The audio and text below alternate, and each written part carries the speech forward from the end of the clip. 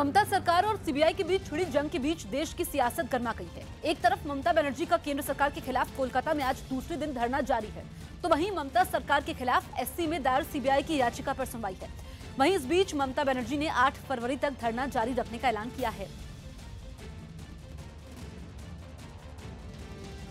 तो दो तस्वीरें आपके सामने हैं। ममता बनर्जी ने 8 फरवरी तक धरना जारी रखने का ऐलान किया है। इस बीच आज सुप्रीम कोर्ट में अहम सुनवाई होने वाली है।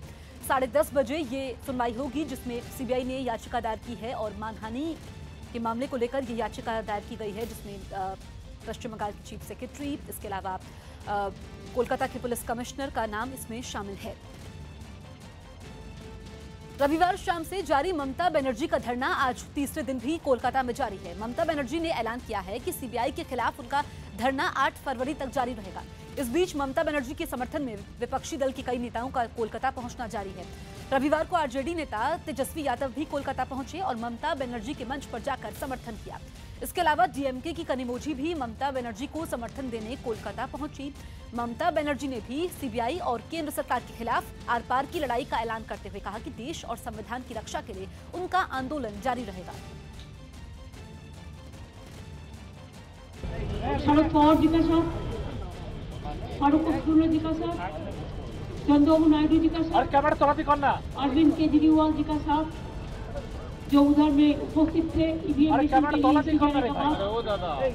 उन्होंने हम लोगों के साथ बात किया है हमने भी बातचीत किया है उन लोगों ने भी बैठ के प्लानिंग शेयर कर रहा है जो भी प्लानिंग होगा एक साथ में एक वोट दान हम लोग करेंगे।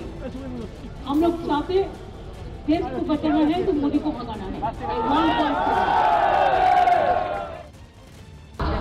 मुझे गर्व है कि ममता जी ने जो कदम उठाने का काम किया है होता है।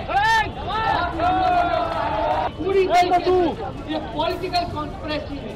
ये नकारात्मक राजनीति है नेगेटिव पॉलिटिक्स है। और हम पीएम वो बड़े और हमारे अभिभावक करते हैं लेकिन हम उनको एक ही चीज़ कहना चाहेंगे कि पीएम आते हैं और जाते हैं लेकिन संस्थाएँ हमेशा रहती है हमारे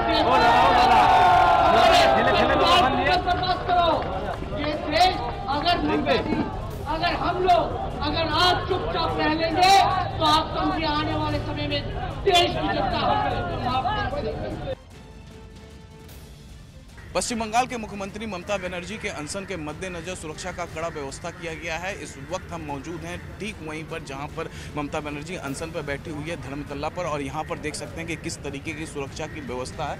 कोलकाता पुलिस के जवान और वेस्ट बंगाल पुलिस के जवान यहाँ पर मौके पर तैनात है। फ़िलहाल सुबह का वक्त है और यहाँ पर यहाँ पर जो है कोलकाता पुलिस के जो आला अधिकारी हैं, वो अपने जवानों को यहाँ पर ब्रीफिंग दे रहे हैं और साथ में आप देख सकते हैं तस्वीरों में कि कई आईपीएस अफसर भी यहाँ पर लगातार मौजूद हैं। बताया ये जा रहा है कि एक हज़ार से ज़्यादा जवान, कोलकाता पुलिस और वेस्ट बंगाल पुलिस के जवान इस पूरे इलाके में आसपास यहाँ पर यहाँ पर तैनात हैं और उनकी पैनी नज़र है। हर किसी पर उनकी नज़र है और जैसे ही किसी पर उन्हें शक होता है, उन्हें रोक कर तुरंत चेक किया जाता है।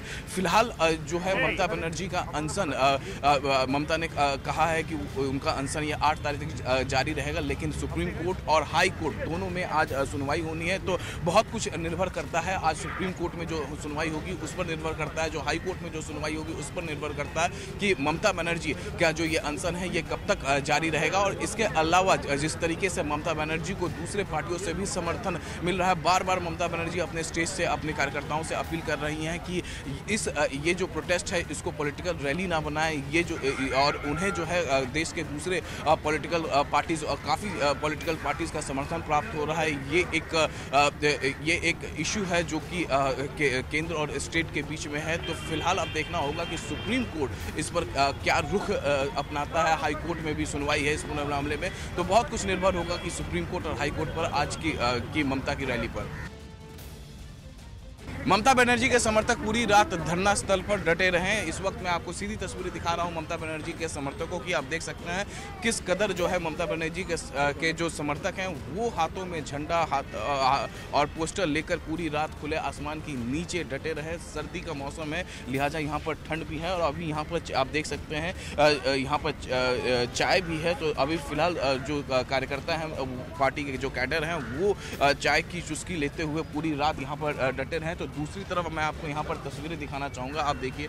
तो अभी लगातार जिस तरीके से तेजस्वी यादव और और और कल करीमुझी यहाँ पर पहुँची हुई थी तो उसका तो उसका यहाँ के जो कार्यकर्ता हैं, वो यहाँ के अखबारों में उस समाचार को यहाँ पर पढ़ रहे हैं। तो लोग छत्तीस घंटे से ज़्यादा हो गए हैं, ममता बनर्जी का अनशन लगातार यहाँ पर जारी है। सुप्रीम कोर्ट में आज सुनवाई होनी है, हाई कोर्ट में सुनवाई होनी है, आज पूरे मसले पर सीबीआई ने जो याचिका सुप्रीम कोर्ट में दायर की है, उस पर सुनवाई होनी है। बहुत कुछ निर्भर करेगा आज के सुप्रीम कोर्ट के सुनवाई पर इस अनशन को लेकर बहरहाल जो उत्साह है, वो पार्टी कार्यकर्ताओं में लगातार बना हुआ है और पूरी रात ममता बनर्जी के धरना स्थल के सामने ये लोग टिके रहे हैं।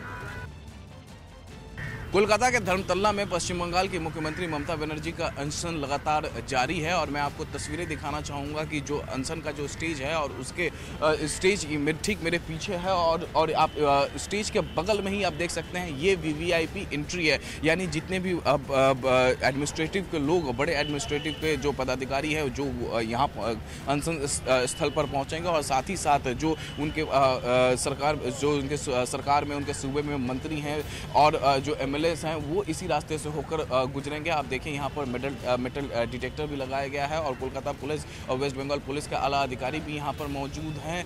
यहाँ पर आप देख सकते हैं तस्वीरों में किस तरीके से इस ये जो वीवीआईपी का जो एंट्री गेट है, यहाँ पर किस तरीके से यहाँ पर सुरक्षा के इंतज़ाम है। दूसरी तरफ़ आपको दिखाना चाहूँगा, आप यहाँ पर देख सकते हैं, फायर ब्रिगेड की यहाँ पर एक गाड़ी भी लगाई गई है। तो दूसरी तरफ़ एंबुलेंस वगैरह भी यहाँ पर मौजूद हैं। आप यहाँ पर देखिए किस कि किस तरीके से यहाँ पर पूरा इंतज़ाम किया गया है फायर ब्रिगेड की यहाँ पर गाड़ी भी है। तो दूसरी तरफ़ मैं आपको दिखाना चाहूँगा, ये धर्मतल्ला का इस जगह का नाम है और ये सेंट्रल कोलकाता है। इस पूरे चौक को यहाँ पर कोलकाता पुलिस ने यहाँ पर सील कर दिया है। तो वहाँ पर आप देख सकते हैं थोड़ा सा आगे वहाँ पर कोलकाता पुलिस ने इस चौक को सील कर दिया है। जितनी भी गाड़ियाँ आ रही हैं इस, यहाँ पर चाहे वो वीवीआईपी की गाड़ियाँ क्यों ना हो, उन पर अभी पैनी नज़र कोलकाता पुलिस और वेस्ट बंगाल पुलिस का है। तो फ़िलहाल ममता के अनशन को देखते हुए सुरक्षा के कड़े इंतज़ाम कोलकाता पुलिस और पश्चिम बंगाल पुलिस ने किए हुए हैं। सुप्रीम कोर्ट आज शारदा घोटाले में कोलकाता के पुलिस कमिश्नर राजीव कुमार से पूछताछ से सीबीआई के अधिकारियों को रोकने और उन्हें हिरासत में लिए जाने के मामले में सुनवाई करेगी।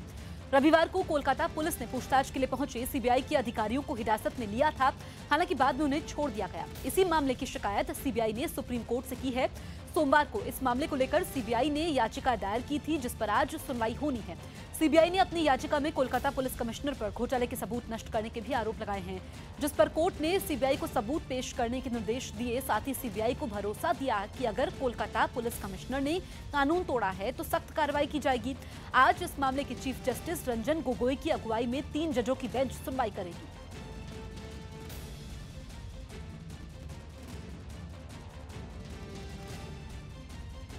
कोलकाता में हुई कार्रवाई और धरने की गूंज संसद में भी साफ़ सुनाई दी। टीएमसी के साथ खड़े कई विपक्षी दलों ने इस मुद्दे पर सीधे मोदी सरकार को निशाने पर लिया।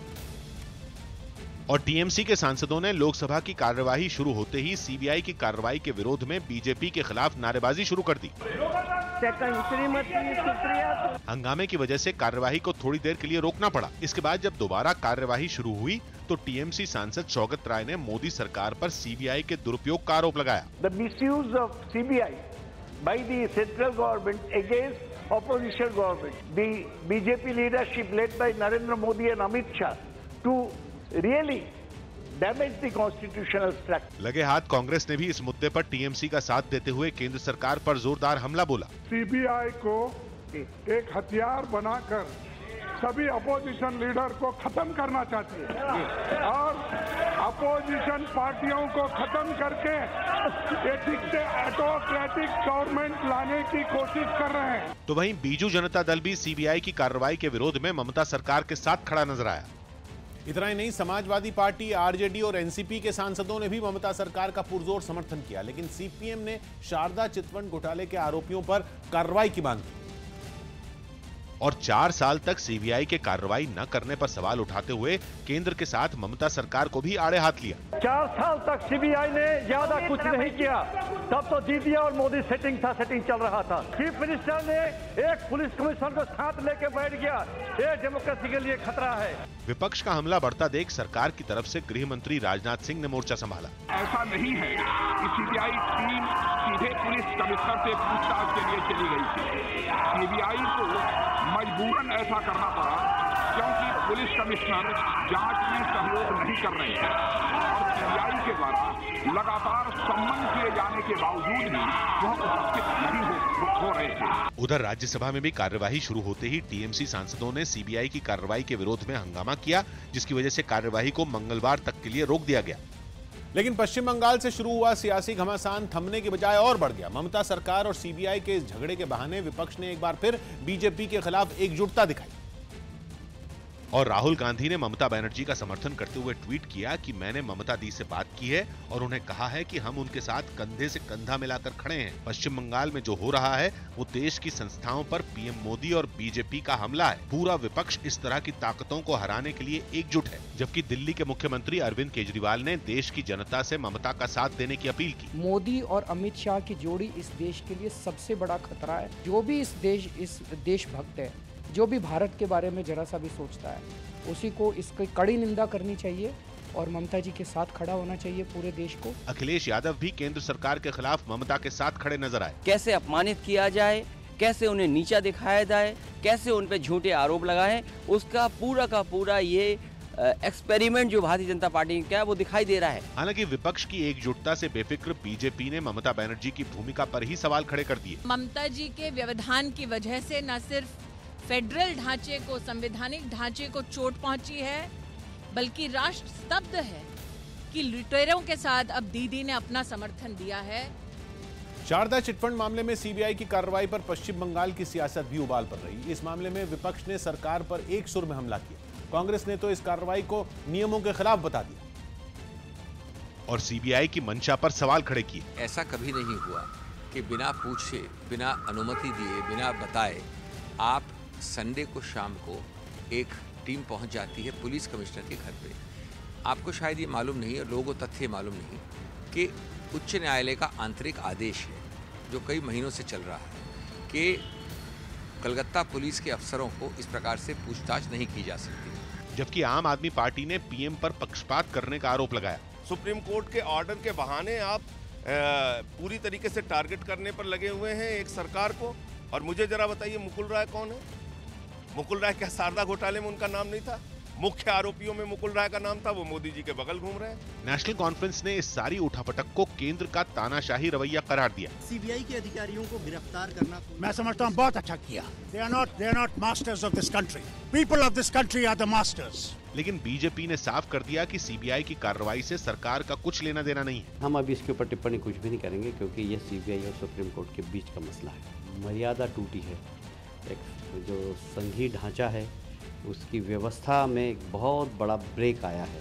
सीबीआई के मुद्दे पर पश्चिम बंगाल सरकार से टकराव के बीच बीजेपी ममता बनर्जी के खिलाफ चुनाव आयोग भी पहुँच गई। बीजेपी का आरोप है कि ममता सरकार राज्य में बीजेपी नेताओं की रैलियों को रोक रही। जिसकी शिकायत करने बीजेपी का प्रतिनिधिमंडल चुनाव आयोग पहुँचा। The elected chief minister of Uttar Pradesh wanting to attend a rally for which the, the district authorities have been sought for permission at least four days ago and in spite of that the concerned authority did not even give permission till the last minute. BJP ने चुनाव आयोग से मिलकर लोकसभा चुनाव से पहले पश्चिम बंगाल में हालात दुरुस्त करने की मांग की हमने चुनाव आयोग से मांग की है कि स्वतंत्र निष्पक्ष और भयमुक्त माहौल में पश्चिम बंगाल में लोकसभा के चुनाव हों जो अधिकारी तृणमूल कांग्रेस के कार्यकर्ता की तरह भूमिका निभा रहे हैं। तृणमूल कांग्रेस के हिंसक घटनाओं के हिस्सेदार भागीदार बने हुए हैं। उनको भी चुनाव के ड्यूटी से मुक्त रखा जाए। इससे पहले भी बीजेपी सियासी हिंसा के मामले में टीएमसी पर हमलावर रही है। शारदा चिटफंड मामले में कांग्रेस का केंद्रीय नेतृत्व भले ही ममता बनर्जी के साथ खड़ा है लेकिन बंगाल के कांग्रेस सांसद अधीर रंजन ने पार्टी से अलग लाइन लेते हुए पश्चिम बंगाल में राष्ट्रपति शासन की मांग कर दी। क्यों आपको लगता है कि राष्ट्रपति शासन लगाया जाना चाहिए? क्योंकि आपकी पार्टी ने समर्थन किया ममता बनर्जी को आपके पार्टी के अध्यक्ष ने। मुझे अपनी ये इंडिविजुअल ओपिनियन है। मैंने जो देखा इसके चलते मैंने कहा क्योंकि बंगाल में ये घोटाला के खिलाफ हम लोग सबसे पहले आवाज़ उठाई थी और ये मांग सीबीआई जाँच की मांग कांग्रेस पार्टी की ओर से हम लोग किया था। और ये जाँच होना चाहिए और दोषी को निकलना चाहिए।